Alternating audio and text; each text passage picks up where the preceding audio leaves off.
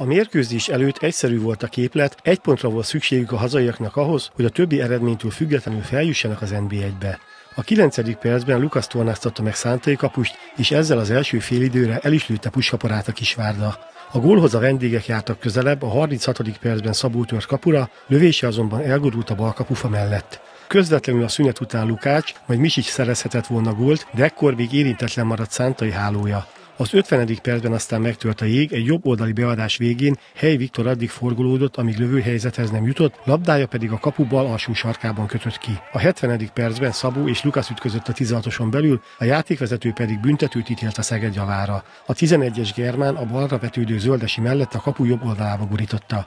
A folytatásban nem történt említésre méltó esemény, így a Kisvárda a hármas évszót követően már élvonalbeli csapatnak mondhatta magát. Nem ezen a mérkőzésen múlott, hanem az egész éven múlott, mert azért kellett ahhoz, hogy az ősz folyamán annyi pontot gyűjtsön a csapat.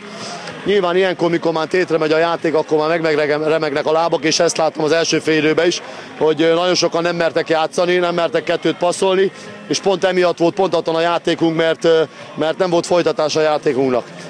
Másik félidőben már sokkal jobb volt, nyilván jókor rúgtuk a gólt. Sajnálom ezt a, ugye, büntetőt, amit elhibáztunk, de hát hagytuk fölgyorsulni a, a Petit.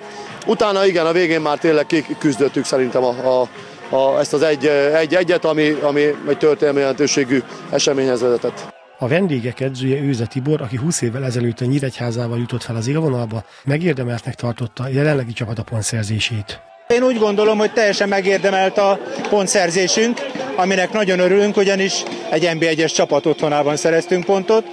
Külön ö, emeli ennek a pontnak az értékét, hogy ö, egy kapott gól után, miután kihagytuk a mérkőzés helyzetét, kaptunk egy gólt, és innen sikerült talpra állnunk.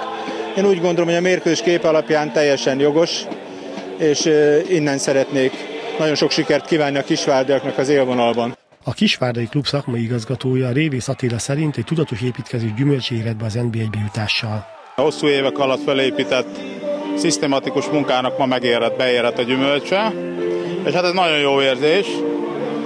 Én azt gondolom, hogy ma minden kisvárdai szimpatizáns, játékos, stábtag, kollégák, vezetők, mindenki büszke lehet arra, hogy egy ilyen kisvárosban egy ilyen óri, sikert, óriási sikert tudtunk elérni, és bebizonyítottuk, hogy a kisebb költségvetéssel is, és egy kisebb klub is tud sikert elérni.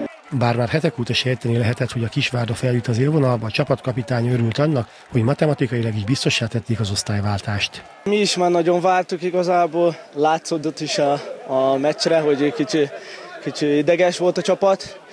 Mindenképp akart bizonyítani ma feljutás, de az elején, hogy végre sikerült.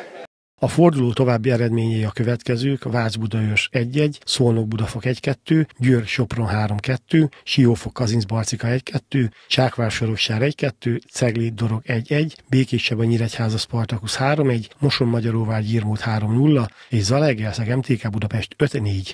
A tabella élén a már bajnok MTK 82 ponttal megelőzve a 69 pontos Kisvárdát és a 62 pontos Békés.